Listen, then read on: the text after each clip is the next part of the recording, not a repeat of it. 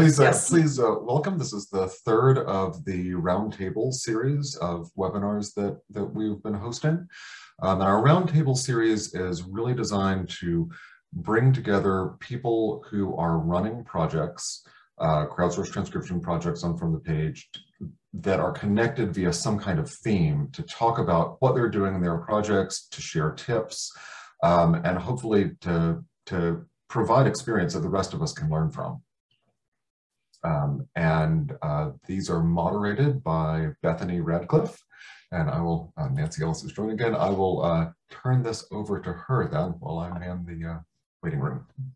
Yeah, so with this webinar, we really wanted to highlight in particular uh, records and collections on From the Page that are documenting the lives of African Americans for Black History Month, um, which as probably most of us here know, most records or a lot of records documenting African Americans have been very limited in access um, over the years. And so we wanted to highlight projects that are doing the work and highlighting these stories and building better ways to access these materials. Um, so with that, I will give a little introduction for our first speaker, who is Dr. Camille Westmont, who's actually joining us from the field today, as you might have heard.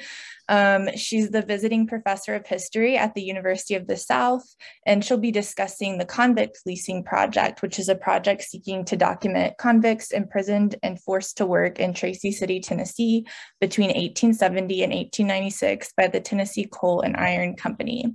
And I have a video um, that I will be playing that Camille sent. Let me share my screen really quickly. Apologies for all the tabs, but I will make this bigger. Um, let's see. Okay. That looks great. can you see it? Awesome. I'm going to click play. Tell me if you can't hear it, um, but it should work. Let me go to the beginning. Okay.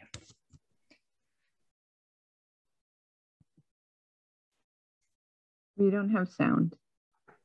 I don't know that there is sound on it right now. Okay.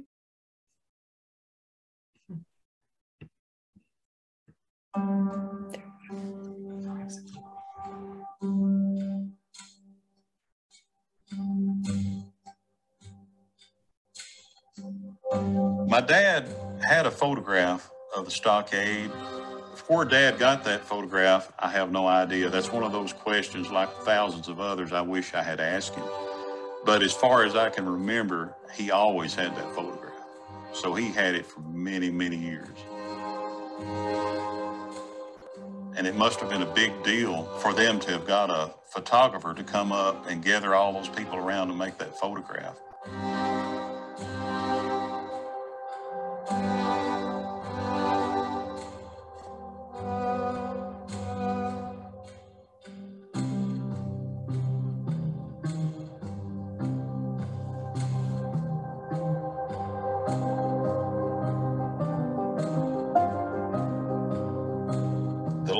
Stockade was a branch prison, and they brought convicts to Tracy City to mine coal and work at the coke ovens. Not many people knew that there was a stockade. My dad, when I was growing up, uh, many Sunday mornings he'd say, "Boy, let's go walk to the stockade." People don't know about that sort of thing because it's uh, it's a sensitive subject, and uh, it's not the kind of thing that people generally want to talk about, even if they knew about it. And after a certain amount of years, people don't know about it unless they dig for it.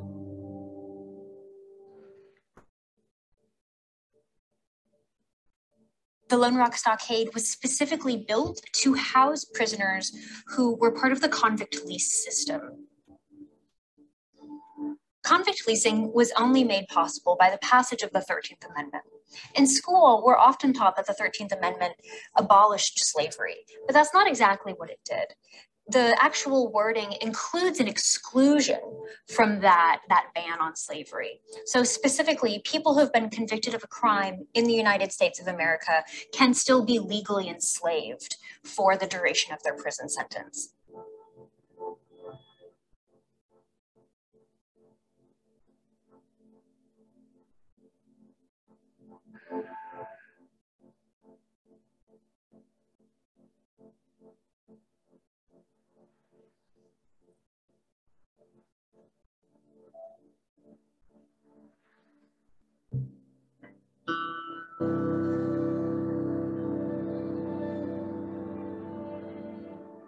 As convict leasing intensified in Tennessee and the prison populations, the African American prison populations in particular, exploded in the 1880s and 1890s, the Lone Rock Stockade began to house many, many more people than it was originally intended to. So, an area that was originally intended to imprison between 200 and 250 people became home to over 600.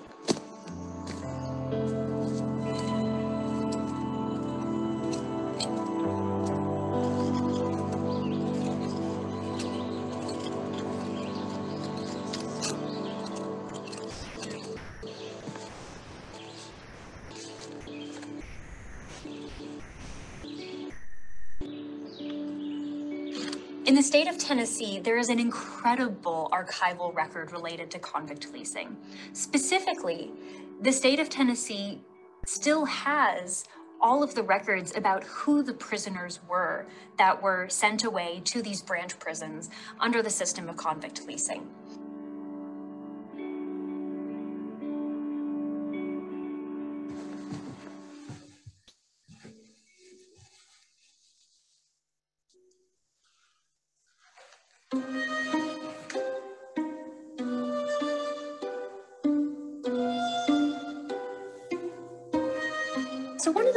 That, that has always really struck me about this photo is that when you zoom in on, on the prisoner's face, he just has this, this thousand yard stare.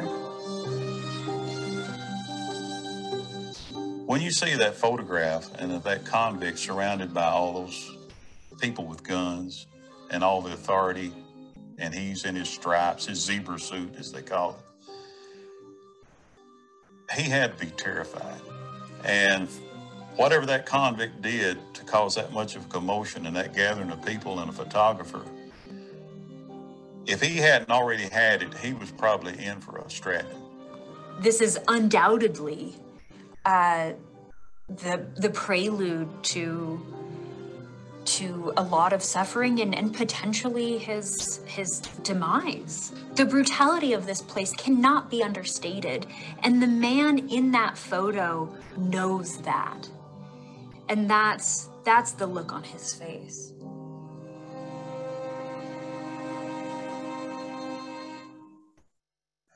Identifying the man in the photo might be possible if we can contact a descendant. Uh, or if we can find additional copies of that photo that have have more more information associated with them. Um, I, I'm not saying that it's impossible, but I am saying that it will take a lot of work and a lot of dedication uh, to to identify that man.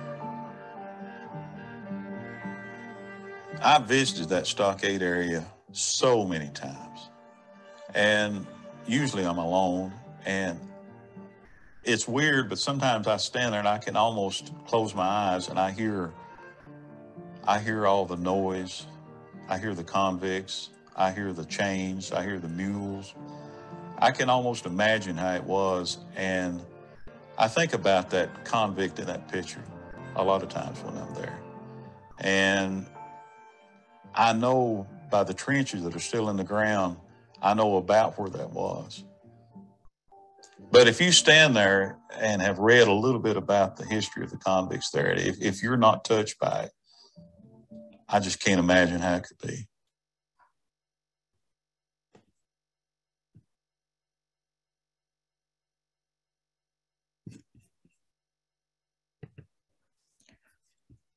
That was really a great video and so cool to get that context. Um, Camille, I don't know if you're still here and wanted to add anything. Um, but we can also collect questions for Camille if she's not able to join um, for the Q&A. And I also wanted to share um, a link to all the project pages today. So let me grab the link to uh, the project that Camille works on with us. And you can see there's a lot of projects from Sewanee, but if you scroll down, the convict leasing pro uh, projects are the ones that we're being talked about today.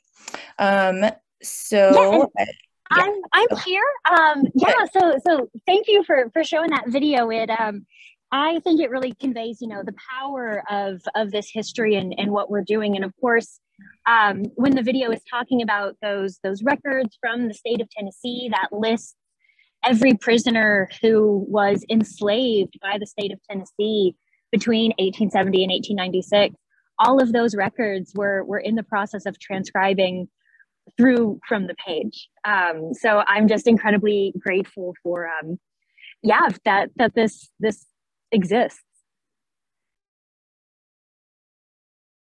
Camille, can you tell us some stories about kind of how your process of transcribing is? I know you've done some partnerships with some local genealogy societies. Um, kind of expand on some of that. Yeah, precisely. Um, so, so of course we're we're out here in in rural Tennessee, and there's some interest in the history, but really, if we're going to get uh, get these documents. We're talking about thousands of, of pages of names. Uh, we're we're going to need a lot of help, and so I've been incredibly fortunate that the Nashville chapter of the Afro American Historical and Genealogical Society has um, has been an incredible partner in you know helping to host transcribathons, um, building public interest in this work, and uh, and yeah, so so we've hosted I think we've done uh, one or two transcribathons with with OGS. We've done a couple locally, and um, they've been really well attended. So at this point, we have over five thousand names transcribed, and uh, and we're the number is is growing every day. That's amazing.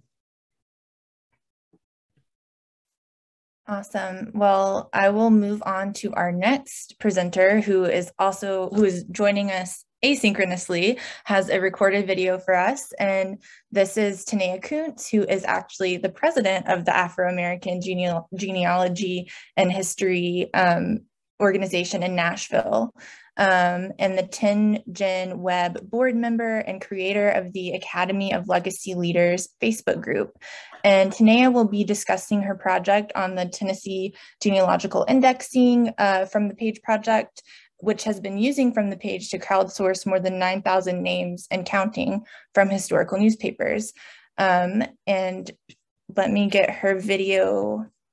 Taneya is also one of the partners with, uh, with Camille. Yes, so exactly, of... with the Tennessee Genealogical. okay, can you see this the video? To okay. join live in the conversation and in the webinar. So hopefully this recorded in this recorded present. Here we go.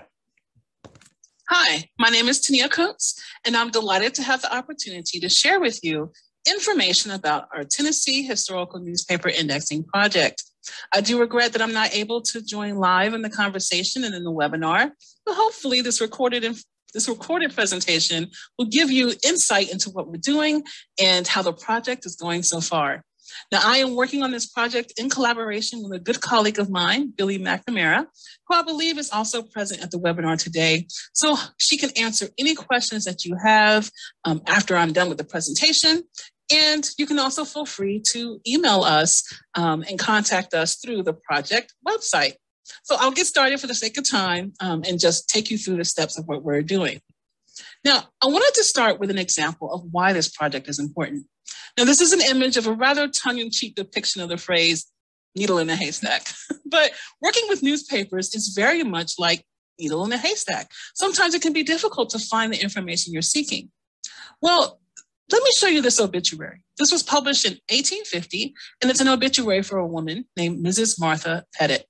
This is um, one of the obituaries that was indexed from the early phases of our project.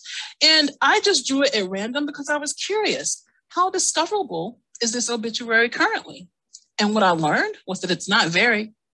There are more than 80 individuals on Ancestry, for example, that have her in their tree. None of them had her obituary. The newspaper is digitized and available online at the Chronicling America website as well as newspapers.com. Well, searching for it would probably not be very successful because the optical character recognition that's been done on this particular obituary doesn't have her name correct. There are no published books of anyone who's gone through McMinn County newspapers to look and pull out details of individuals that are named. So at the current state, it can be difficult to locate this obituary. but we have now indexed it and it is now part of the data we're collecting. And our volunteers are making obituaries like this more discoverable. So that's particularly exciting for us. Now, to carry out this project, we are fortunate that we can leverage on a long history of genealogy volunteerism. Billy and I are both involved with the US GenWeb project, particularly the Tennessee GenWeb project, which is a volunteer driven initiative to provide genealogy information online for free. All of this information comes from volunteers. Our websites are coordinated by volunteers. So our community is very familiar with this concept of just genealogy goodwill. On top of that, we have had initiatives such as Family FamilySearch's indexing, which has been doing crowdsourced indexing since 2006. And they've coordinated and facilitated some very large projects, such as indexing the 1940 census and the upcoming 1950 census with a strong reliance on volunteers. So the great thing about our genealogy community is that they're used to this model of crowdsourced approaches to index historical records, and that is good for our work. This is the website of our Tennessee Newspapers Project on the From the Page platform. So what we are doing is loading issues of historical newspapers into the site so that our volunteers can index names and organizations that appear on the pages. Where is this data coming from? How are we sourcing our newspapers? Well, I can tell you that we are so fortunate in that the Tennessee State Library and Archives has been intentionally collecting and microfilming newspaper issues all across the state of Tennessee for decades. So they're microfilming their newspapers, and we're able to leverage that. Now, we're starting off this project with some of those microfilm issues that have been digitized and made available online. But we are doing this project in partnership with TSLA. So we will be able to get to the microfilm records themselves TSLA will continue to do more digitization, and we can include that into this project for our volunteers to work with. So we're incredibly thankful for all the hard work that, that the Tennessee State Library and Archives has been doing, because without it, this would be an even more monumental task than it is. This is a screenshot of what it looks like for our volunteers when they come to the site. And we pull up their digital issue for them to look at. And rather than transcription, we're doing indexing. And we're leveraging the spreadsheet template that From the Page now offers. And this is particularly exciting for us because it allows us to be very specific in the details that our volunteers will capture. So we're presenting to them the spreadsheet that includes the column the name appears on or the organization name appears on. If it is a personal name they're capturing, we want the prefix, the given name, the last name, the suffix. We have a way for them to indicate if a person is described as not white. I'm going to talk about that a little bit more, whether or not there's a photo and we have a category for article type. So these are 11 different categories that we've come up with that allow our volunteers to give a little bit more context to the name or organization that they're capturing. We're very excited to be using the spreadsheet format because it's really been the basis for how we're able to carry out this project. I want to take one moment to talk about how we're documenting persons of color, right? There are a myriad of terms that have been used over the decades to describe um, individuals who are not white. And we want to be able to capture the fact that a person is described as not being white, but we do not want to reuse some of that vocabulary and some of that terminology. So we elected to go with the checkbox option. So when a person is explicitly described as not being white, our volunteers can check that box.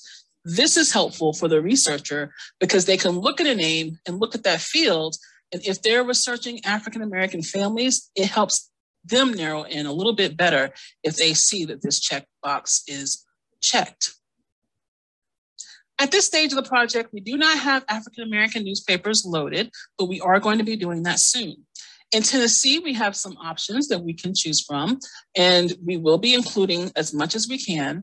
Um, and this includes Maryville Republican in East Tennessee, the Chattanooga Blade, and a, you know a very long run newspaper is the Nashville Globe, which was an African American newspaper published in Nashville, Tennessee from 1907 to the to 1960, I believe. So it has a very long run and was of critical importance to the Afri- African American community. In fact, An analysis of the communities covered in the Nashville Globe, published in mid Tennessee, just gives you a feel for how extensive their coverage was. And this is a map that was created of issues from 1907 to 1918. So as we think about their publication into 1960, we know that this coverage gets even more in depth. So you have a paper published in Middle Tennessee that's covering African American communities across the state. So for anyone who's from Tennessee and from an African American family, having access to a human curated and human uh, provided index is going to be incredibly helpful. Now, what's going to happen to this data when we're done collecting it? We are so happy because the Tennessee State Library and Archives is going to be incorporating it into one of their online web databases.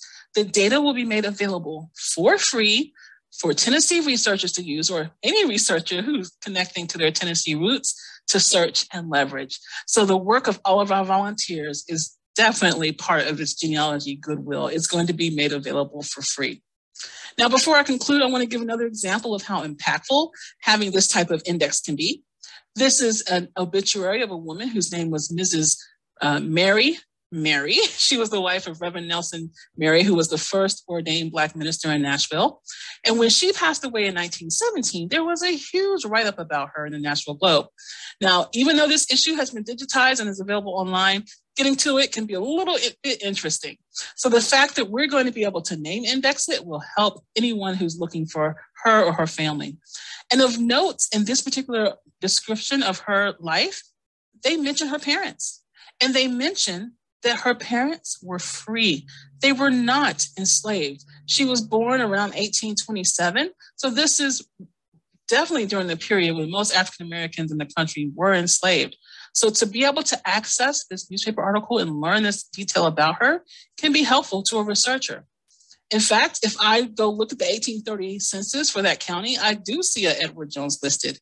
Now, whether or not it's her father or someone else would require additional investigation, but just think about the possibility of someone who is researching finds this information about her being from a family that was free and having the opportunity to go look at other records to help see if they can investigate that further. Incredibly impactful to have an index that enables us to do this. To give you an update on where we are so far, it's been phenomenal. Our volunteers have indexed more than 300 pages because the numbers on our site now do not reflect data that we've already pulled down. And even though it says 7,000 index records on the screen, it's actually more like 10,000 at this point. So we've been engaged in this indexing process for about two months. And for us to have 10,000 index names already, it's just, it's just indescribable. So we know that as the project grows and more volunteers come on board, we're going to be able to have an even larger impact. So I thank you for your time today um, in letting us share this project with you. We're excited about it and are looking forward to seeing it grow and having even more impact for Tennessee researchers. Thank you. I wish Taneya was here because that was so awesome. And um, we are going to share this recording of the overall thing with her so she can see this. But that was really great to um, to see, and I think it highlighted the the impact of um, you know, indexing and transcribing, and also collaboration being a huge key. Um, even thinking back to Camille's project and how she collaborated with Taneya to verify some of these names and get information, I think is super impactful. Um, you know, what I love about this project is Taneya and Billy are they're pushing this data back to the Tennessee State Archives, right? They're like, this is important. We're going to do it.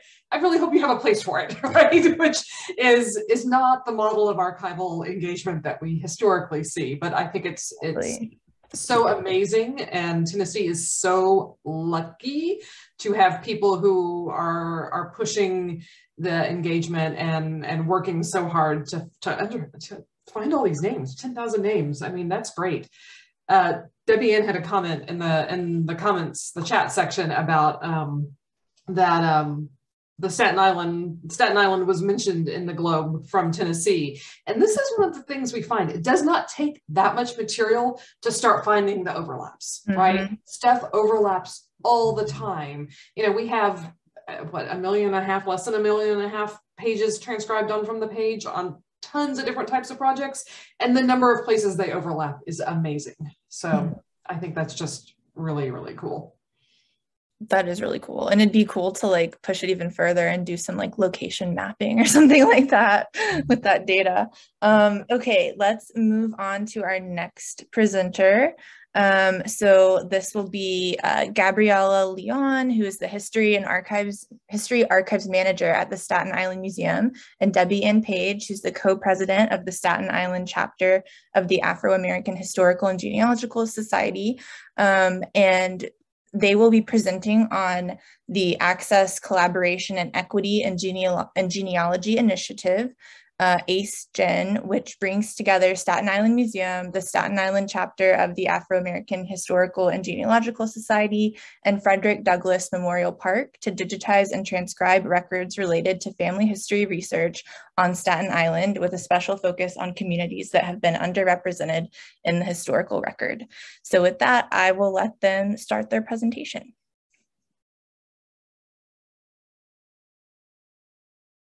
Thank you so much. Thanks for having us. Uh, I think the two preceding presenters have my wheels turning already, so I'm really excited to be a part of this. Um, you introduced the project so well. Uh, Debbie Ann Page and I are working uh, with another group, Frederick Douglass Memorial Park from Staten Island, on the Access Collaboration and Genealogy Initiative. Um, I am, as Bethany said, Gabriella Leone from the Staten Island Museum. The museum was founded in 1881. We're celebrating our 140th anniversary this year. Um, and we have a general interest focus, so natural science, art, and history, um, mostly related to Staten Island and the New York City area. Staten Island is one of the five boroughs of New York City. Uh, and you can learn more about us on our website at statenislandmuseum.org. Um, and with that, I'll introduce you to my colleague, Debbie Ann Page who's the co-president of the Staten Island Afro-American Historical and Genealogical Society. Hi, good afternoon, everyone. Um, so, the Richard B. Dickinson Staten Island chapter of the Afro-American Historical and Genealogical Society, or we say Staten Island OGS, was organized in 2016, and we actually received our charter February um, of 2018. We are a 501c3 membership organization, and we're open to the public. We uh, pre-COVID, we met regularly at the Staten Island Museum every third Saturday, um, except in July and August when we were uh, on vacation. And we hope to be able to resume those meetings again soon. So we're organized, I think, a little differently than um, some of the other chapters where we focus more on the people destinations rather than rather than the um, place um, for example, we um, we look at um, the African diaspora, the African American, the Afro Caribbean, the Afro European diaspora, and their family histories, as opposed to just say a place based like New York or or Staten Island, um, more specifically, because um, we have members as far as of, as far away as Georgia. Um, and so yeah, and so uh, we have been fortunate in, in our ability to um, to be able to bring in members from across um, you know from across the country. We're hoping to um, reach out and do it internationally as well. And so, a little bit about the um, cemetery is uh, Frederick Douglass Memorial Park was opened. It was organized and then opened in June of 1935, and the New York Age announced it as a 53 acre ultra modern cemetery on the south shore of Staten Island. Um, it's but the um, the major focus for the newspaper to um, to announce it was that it was controlled by African Americans. Um, Interestingly enough, though, it was organized by African American um, funeral directors from Harlem, and its headquarters was in Harlem. So the story of Frederick Douglass um, brings um, a sense of um, understanding about Staten Island and the people who are buried there, but it really is another story. It's a story of Harlem as well, and I think the, the connecting um, tissue there is that it, it spans across um, this this this bigger place.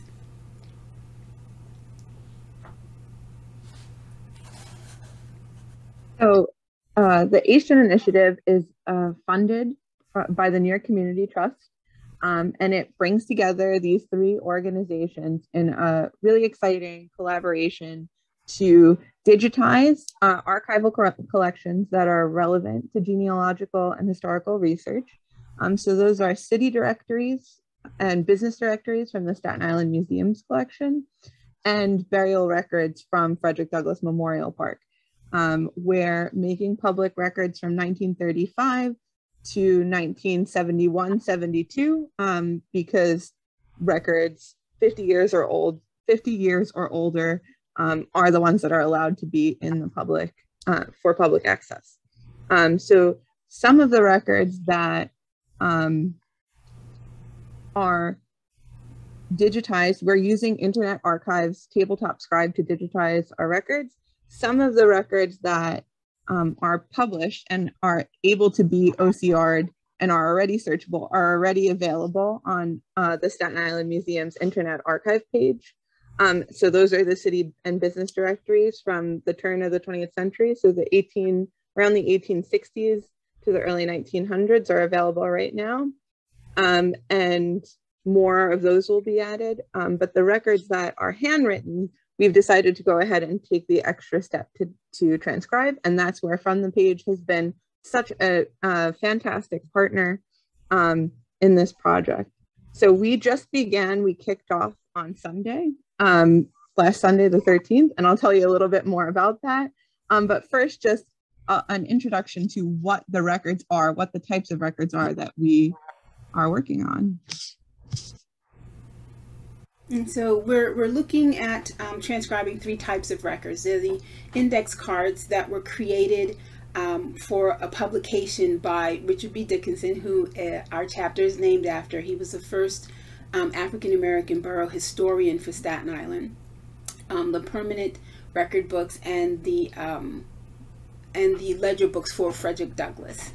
The uh, indices are really interesting. Um, they pull out census data and they put them on these cards. And while the book is published, uh, it's it's out of print and it's difficult to get to. And so the um, having these particular cards up is going to be a genealogical um, gemstone for, for, for those who are looking for African Americans on Staten Island.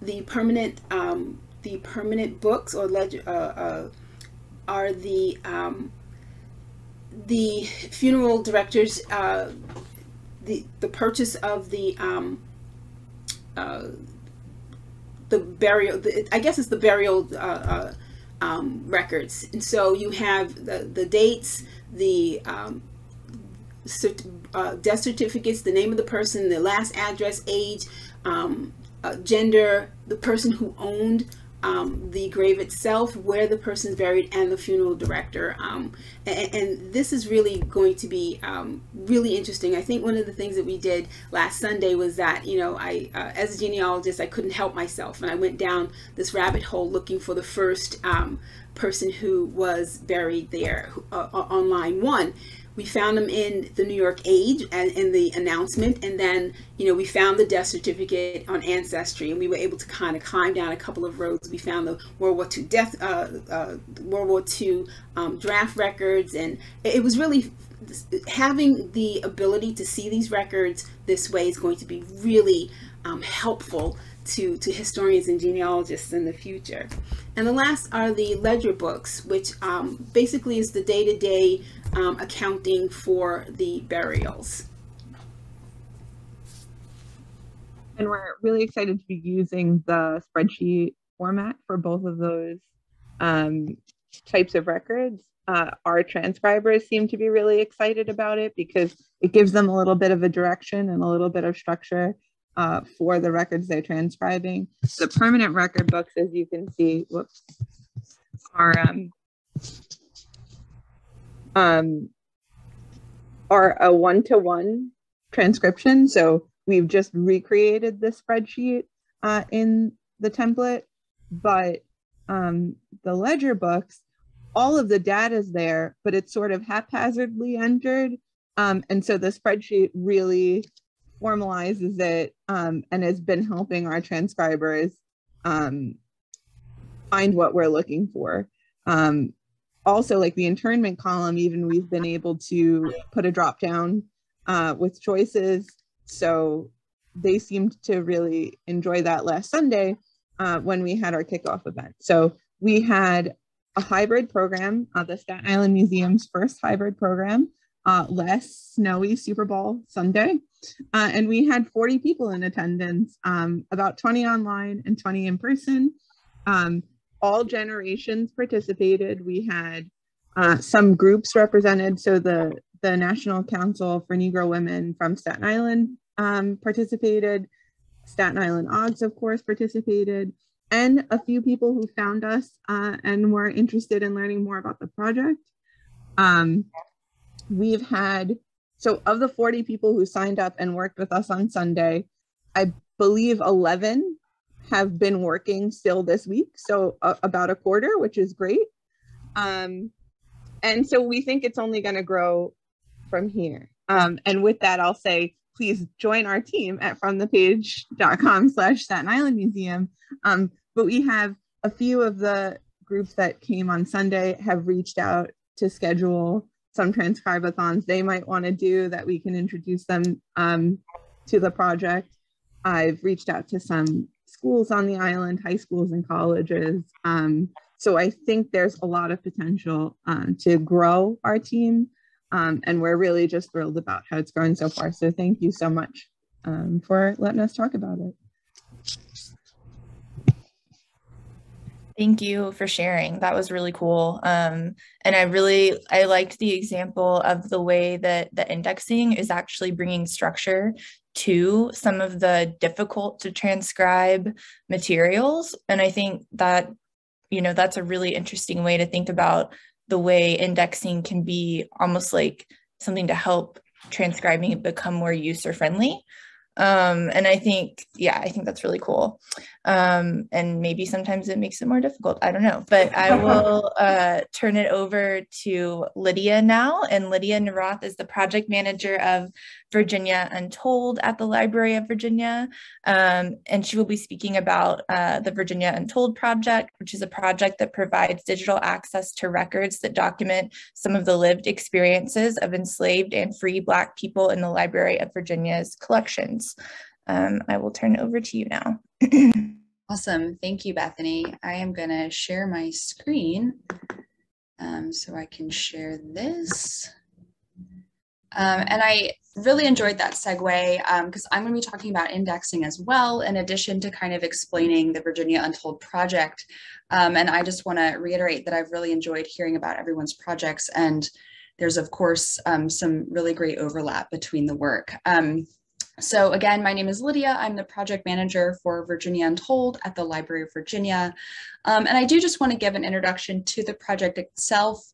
Um, Virginia Untold uh, does provide access. It's a digital portal, sort of, um, to records that document enslaved and free Black people in the Library of Virginia's collections. Um, the project began in 2013, many years ago, really as a naming project to go in and index um, records that have material related to this history, um, kind of surface that material and then digitize it and make it available online. But the project has um, evolved in, in many ways over the years, um, most notably kind of in recent, a couple years ago in February 2020 when we received the NHPRC grant to hire a project manager, who is me, um, to focus on two two um, separate tasks. One is digitizing our free Black registers um, from different Virginia localities, which I'm going to actually spend most of my time talking about today. And then also to process um, a lot of material from the city of Richmond, one of the localities that is just currently underrepresented within our database.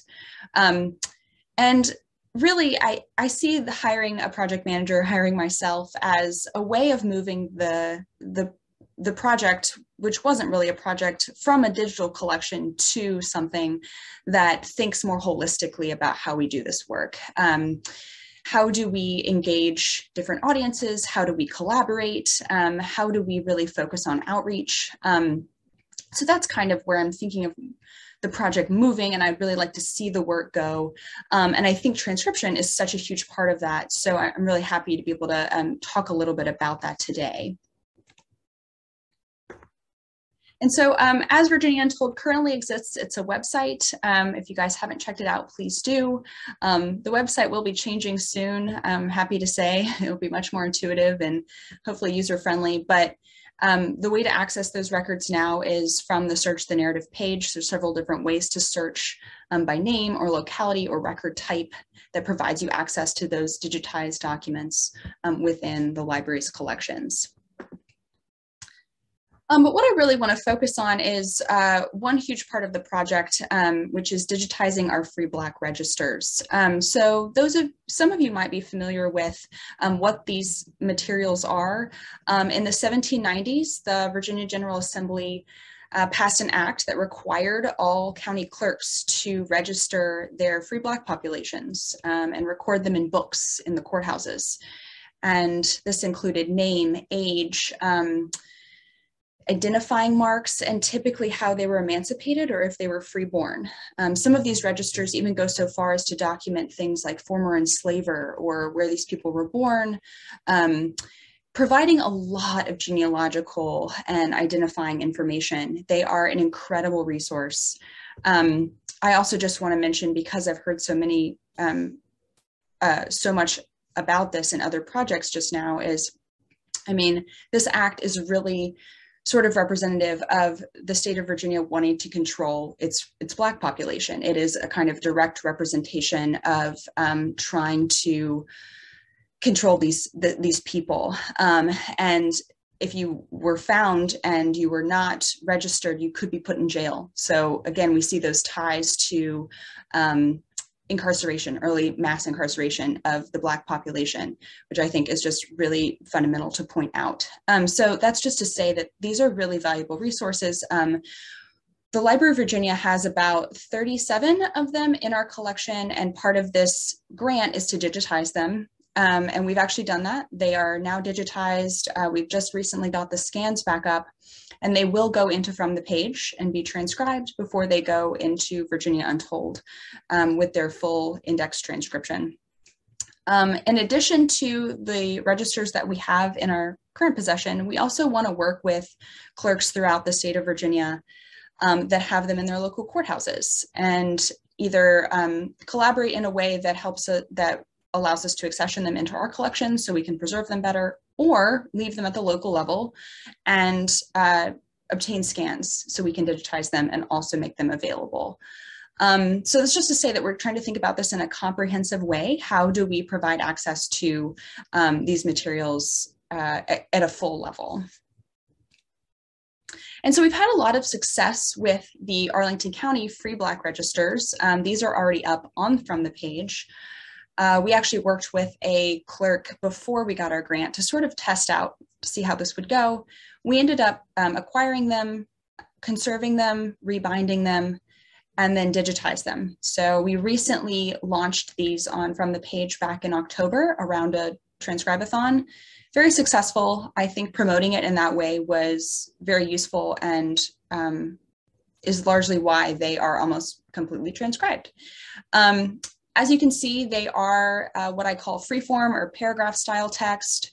So with the exception of some indexing that really threw people off, um, it was a very straightforward project. I think it made sense to a lot of our users.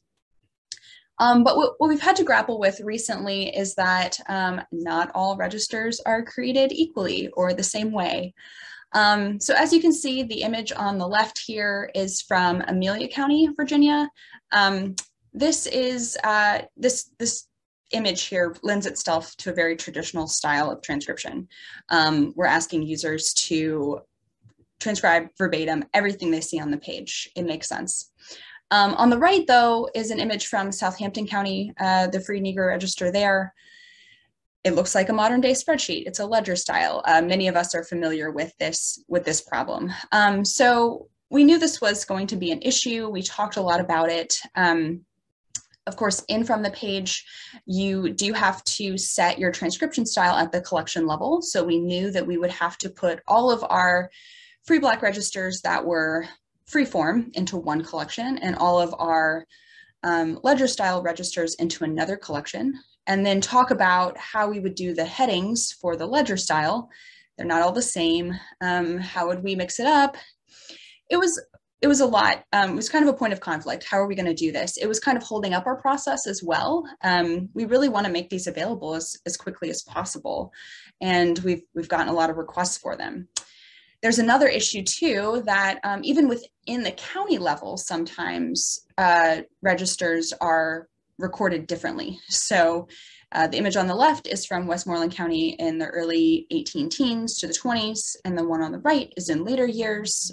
Either a different clerk or the clerk changed their mind about how they were going to record these free people. Um, and so even setting that at, you know, if we were to split a county level, I think that um, that's confusing for users if you're thinking about groupings and organization and how people are accessing these materials. Um, so again, just something we were trying to work through. Um, and so finally, we sort of had a what I call a come to Jesus meeting, where we're talking about it as a group. And it was actually Sonia Coleman, um, the head of our transcription projects, who suggested, you know, why don't we think about how we are extracting the data? How do we? Why don't we think about what we're going to do with the registers? And so um, it shifted us to think about how we could actually index it instead. So instead of doing verbatim transcriptions, um, asking users to treat all of the registers the same way and go through and extract the data that we're looking for. And that's kind of what we've landed on. Um, so I went through a sampling of the registers and tried to pull out all of the fields um, that were recorded even if some don't have those, just a, a, kind of a full comprehensive view of all of the, the possible fields that might be recorded in some of these registers. And then present, um, you know, our users with, uh, in the same way, the freeform register alongside of the spreadsheet pulling out that information. Um, and so where we are now is we've um, actually set up a test group. We've we've pulled a sampling of about seven registers, images from seven registers, and asked um, staff to test these internally, to go through, transcribe a few pages, and see how it works. Are the headings intuitive? Uh, do they make sense? Um, what is left out? We've also talked about various fields that we can make drop-down menus. So things like locality we can uh, control for, or gender, I think is another one we could probably do that with. Um, how are we gonna do the date formats? So that's kind of where we are. Our user, our test group had some really great helpful feedback for us and we are going to uh, make those updates to our headings and um, instructions too instructions are going to be really important in this particular scenario making it very explicit to our, our users and our transcribers um, what the goal is. The goal is to index. We're not looking for you to transcribe every the and and but on the page. Um, we're trying to get data from this and ultimately this is where the data is going. We're thinking about putting it in the Virginia Open Data Portal. Um, we're thinking about how it's going to show up on the website. And I think cluing transcribers into that conversation is going to be really fundamental to the success of the project. Um, as I was talking with Sarah about this earlier, um, I think that this will be a cognitive shift for some of our transcribers who get really, for better for worse, in the weeds about all of the data, they, all of the text they see on the page. They want it to be a verbatim one-to-one. Uh, -one. And we're asking them to do something a lot different. But in the same way, I think it's going to engage a different type of user in that process that really enjoys, like some of you all have said, this indexing where you're just kind of, um, I don't want to be flippant, but it's sort of like a treasure hunt. You're pulling out that information and it, it's, it's satisfying in many ways.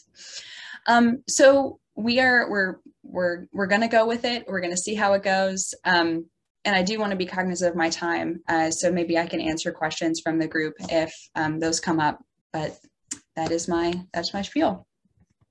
Awesome. Thank you so much. That was really cool to see how you're able to incorporate such diverse documents into the project by kind of isolating those important metadata fields that you know are across all documents. I think that was really cool to see and I bet there's other people that would be interested in doing something similar that are wanting to do indexing.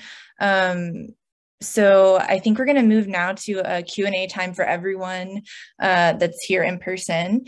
And um, it looks like Victoria has a question for uh, Lydia and others who are doing indexing instead of straight transcription. Um, she says she would love to know more detail about how you plan to integrate data into your CMSs um, and wondering if you've done a test ingest yet of that data. Okay, that is a very technical question that I am not going to be able to answer. Um, Sonia, if she were on the call, I think would be more useful um, in answering that question. Um, so we're not quite there yet. Um, so I could probably maybe answer that better. And I don't know if Ben or Sarah are able to speak to that. Um, but I'm so sorry. I that's out of my that's out of my pay grade. but Library of Virginia has a data portal too, right? You'll be creating a yes. data set, which is a different model entirely from what a lot of other libraries and, and archives do. Um, and the idea that if you're if you're doing more of an indexing project, that you can create things that are are data which is kind of just a different thing than just an index or something that you know someone searches and finds and reads right? Yeah and i'm happy to drop a link to the virginia open data portal into the chat because that is where um, most of our our data sets end up from virginia untold. And it's a different way obviously that scholars use the information. Um, so we're just trying to think about think about that long term but LVA is great at just pulling anything into searchable indexes as well. so they have a lot of different places that they, they put that. Um, Are there any other questions? I have a question if you guys don't mind me asking one. Um, so one of the things that I am cognizant of and like wondering about there's a lot of difficult things that you encounter with these uh, materials traumatic things imprisonment like you know who knows what really horrible things. Um, how do you handle encountering this and you know potentially transcribing it or dealing with it yourself? Um, and maybe as a follow-up how do you prepare like future users to encounter this material I don't know if anyone wants to answer that.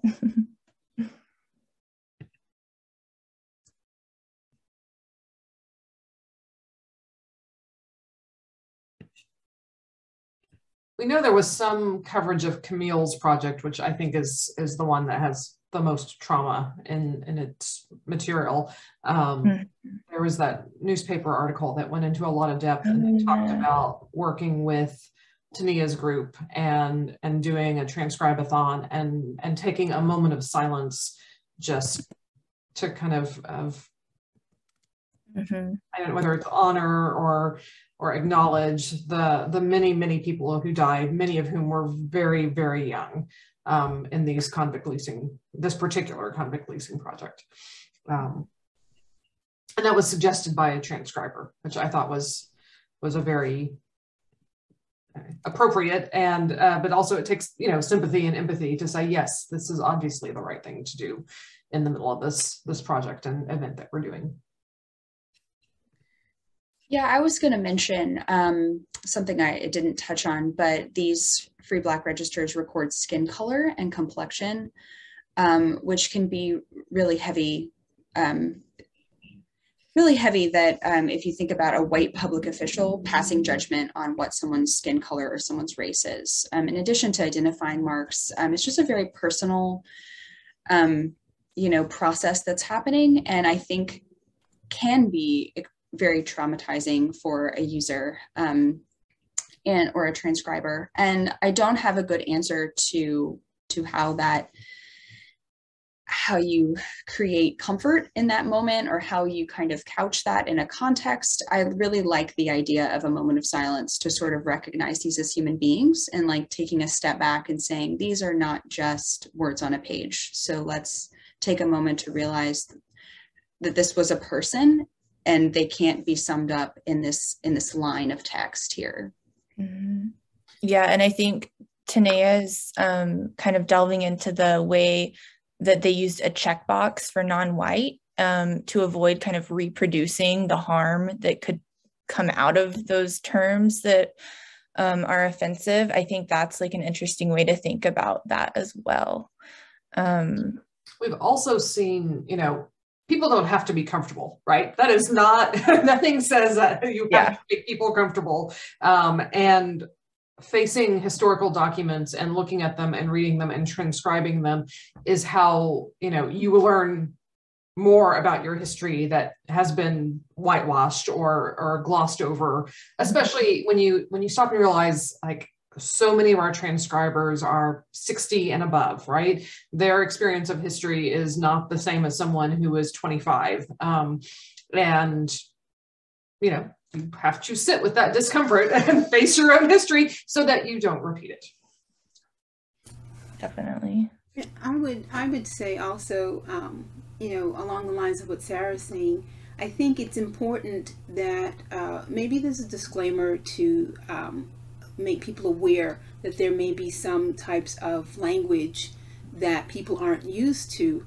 Um, but I think it's, you know, in, in light of what's going on across our states in terms of what we can talk about, what we can't talk about in a in an official setting in terms of school, I think these kinds of projects really bring, um, you know, make it important that that a, a, a, large swath of peoples can access this information and learn the history. Um, you know, if, if, you're young enough to be able to use a computer, um, you can you can do these things. But again, you know, there has to be some kind of disclaimer because if a child comes across this kind of information without some kind of parental supervision, it, it could pose a problem. So I think that's something that Gabby, maybe we should be um, considering as we move forward with the language.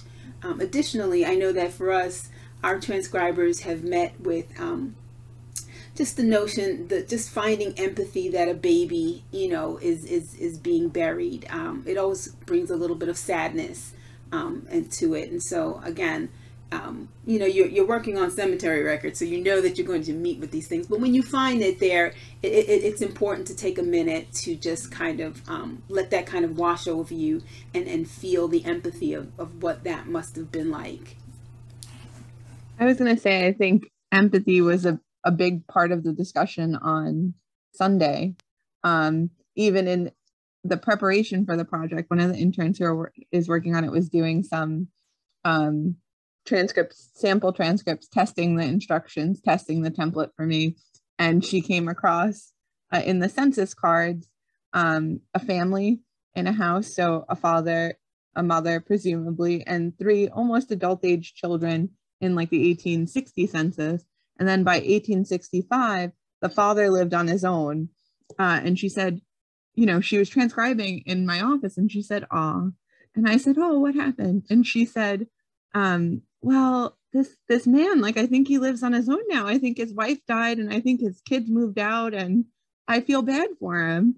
And that's only five lines of vital information, right? And that's the kind of connection that um, she was able to have. And some of the transcribers on Sunday said similar things. So I think there's really something to these projects for um, discovering uh, people, our ancestors in the past, and what they experienced. Thanks for sharing that. Um, I just want to mention that we are at time. Um, I'm happy to stick around and other people have questions, um, but we can also go ahead and close out. Were there any other questions? Yeah, if the, if the, if the speakers are willing to stick around a little longer, um, if there are questions, I see Victoria has her hand raised. Oh, I think she's clapping. clapping. Zoom pounding, yes. Awesome. Well, I just want to say thank you to all of our speakers for awesome. joining us. I'm sure Ben and Sarah would say the same. Um, it's been, this has been awesome to see. Um, yeah. We really appreciate everyone's time, especially on President's Day, um, and, and everyone being willing to share your experiences and stories and projects. I mean, we we we learn so much from these. I I, I love these because like what y'all are doing is amazing. Thank you. Thank you. Thank you guys.